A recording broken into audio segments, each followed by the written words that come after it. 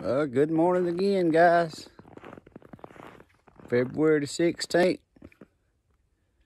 Still getting snow falling.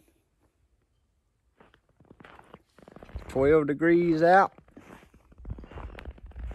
This morning, I ain't sure what it got down to last night, but it's 12 degrees right now. We finna check on this cold frame and see how it's doing again this morning. Check on our chickens. Check on the dog. Break the water so he can have some water to drink. But right now we're finna check this cold frame again.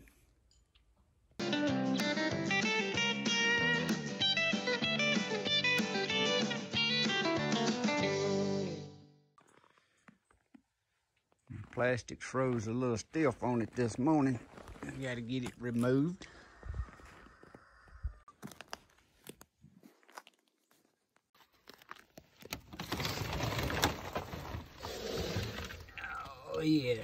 12 degrees and it's still right above 70 degrees in here. No, 65 degrees, I'm sorry still right above 65 degrees, which is still good.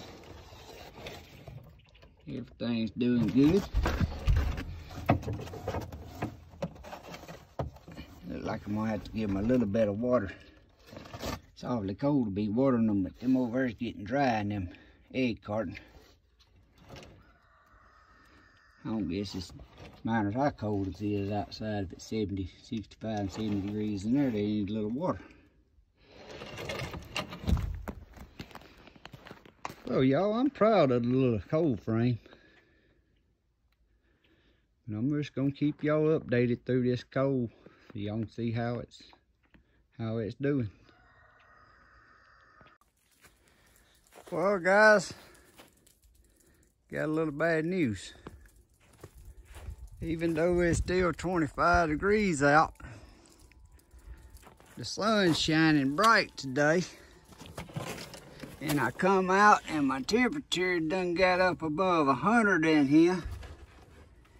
And you can see what it done to my little tomato plants. It's about to get them. For some reason, my greenhouse hinge is supposed to, when it starts warming up, open the door. And it's been working, so I don't know if this freezing temperature done froze the fluid in it so hard it's not thawing out. I don't know. I ain't never had no dealings with one of these greenhouse vent window hinges. But it's been working good ever since I built this thing. But it ain't never been through no hard freeze weather like this. I don't know if that fluid's froze in that tube. And it ain't thawing fast enough I'll tell you what I'm finna do. I'm finna heat it up with a torch. Just to heat it to see if it starts working. Then we'll know if that fluid in that tube is froze or not. But you see I done opened the door and the temperature is falling quick. But I'm glad I come on out here and thought about it. My heat lamps, they've kicked off. So my little thermal control, temperature control knob, it's working. It kicked the heat off, but the sun's heating up so fast, the door's supposed to open. But the door not didn't open for me. So I'm gonna take this little torch see if I can heat that and see if that's just that fluid froze in that tube or it's just done gone bad altogether.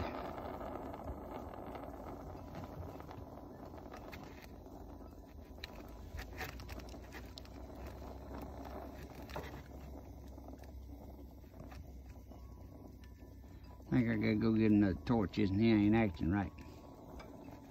Even my torch ain't even won't work today. That's what it is, guys. That's what it is. The tube was froze. Look at it raising up now. You can see the hinge opening up now.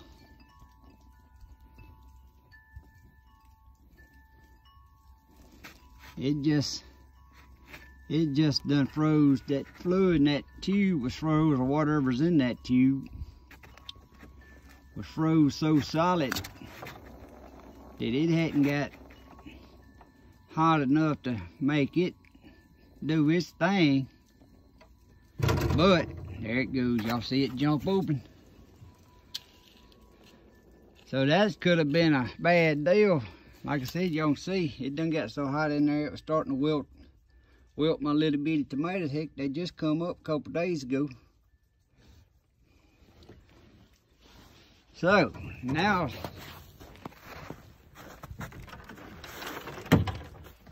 now y'all can see the hood, that's supposed been opening up like that when it started warming up, so.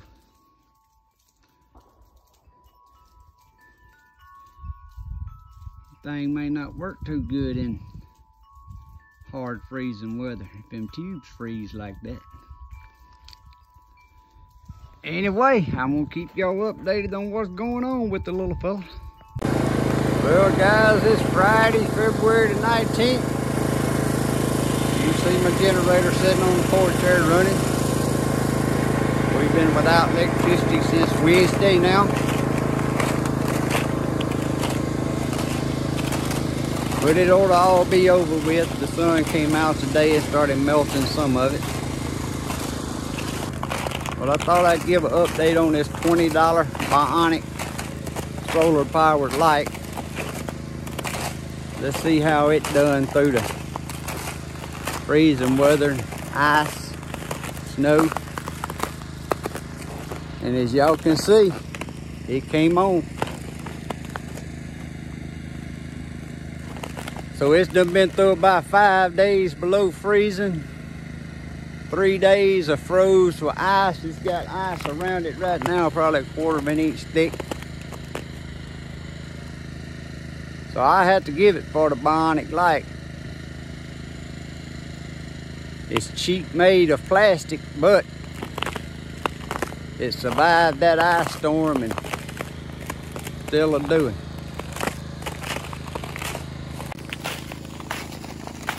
But the update on my temperature control cold frame.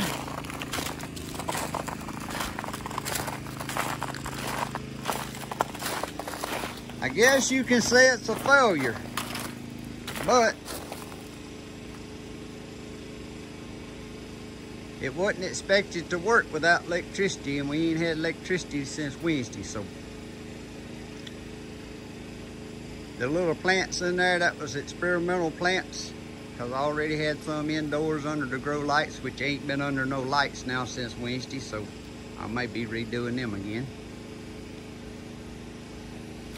But the cold frame, if you ain't got electricity, it ain't gonna work, and I wasn't gonna hook my generator.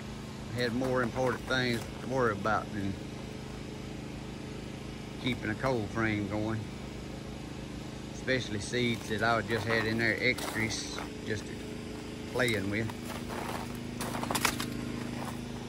What happened the other day before the before our electricity loss, it was down into the teens in the little hinge, the greenhouse window vent window hinge, be heat activated. It was so cold, it froze up and wasn't, wasn't opening the lid that day when the sun come out and it done got up close to 100 degrees in there. But the fluid in that hinge was froze so so hard as soon as I touched it, which put a little heat on it, it released and started opening. So I don't know if them hinges is made to work at that lower temperatures or not. I would say probably not, not when it got down into the teens. But it was doing good until we lost electricity though. I come out that day when I knew it was getting hot. I seen the lid wasn't opening, so I opened the lid. And everything was still doing good until we lost electricity. So that's the little update on the homestead here figure it's gonna be a couple more days before we get electricity and many lines is down.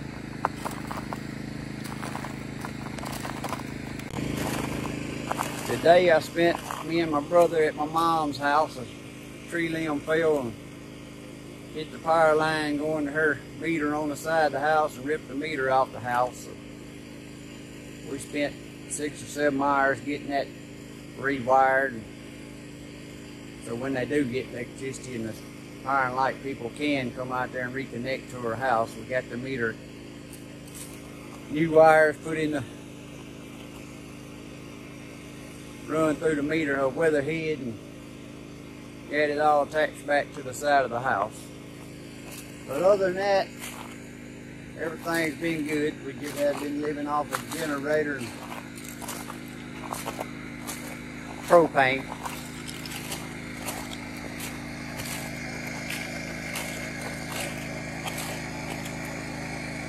So I just wanted to give a little quick update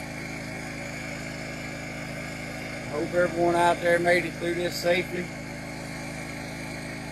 We had several buildings, sheds, tractor sheds, farmer sheds, horse barns.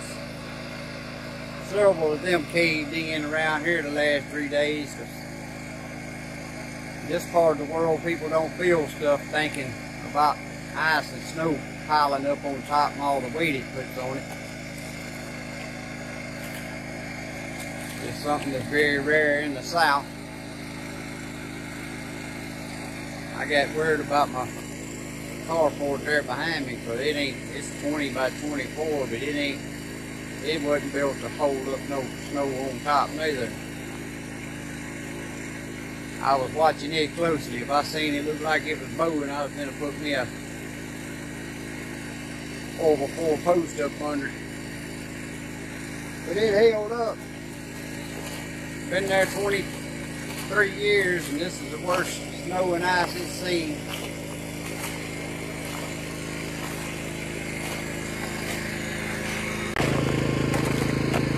I don't think none of my herbs is gonna make it out there.